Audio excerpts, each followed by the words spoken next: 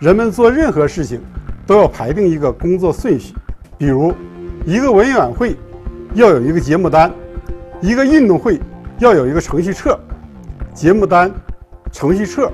都是给要进行工作排定的一个工作顺序，可以称之为程序。它由具体操作组成，每个操作是一个指令。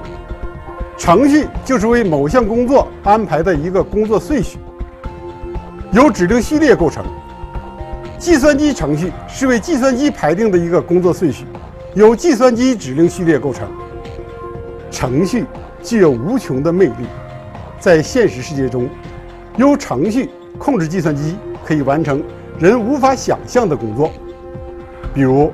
对海量数据进行统计分析。求解大规模线性方程组、化学材料和物理学中的物质特性或结构分析、地球、地质、宇航等极端条件下的科学研究、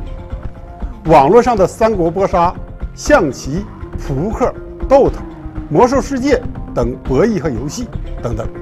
这些复杂的计算对计算机来说就如同小学算术一样简单。它们都是由程序控制完成的。节目单、程序册要由人设计出来，设计节目单、程序册的过程就是程序设计。